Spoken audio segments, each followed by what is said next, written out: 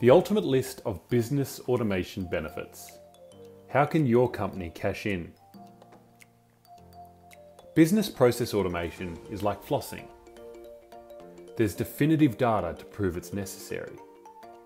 But there are plenty of reluctant late adopters who are not entirely on board yet. A recent survey by Formstack outlined managers spend on average of 8 hours per week on manual unstructured data tasks.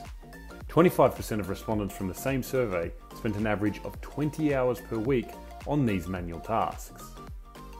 Is your business among the reluctant sector being left behind? Or are you not entirely convinced yet how business process automation can help you? So, what are the benefits of business process automation? Number one, improve operational automation.